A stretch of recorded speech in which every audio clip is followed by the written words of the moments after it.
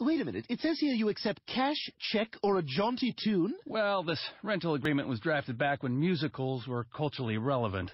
Unfortunately, that's no longer the case. Well, I can prove to you that's a whole lot of nonsense.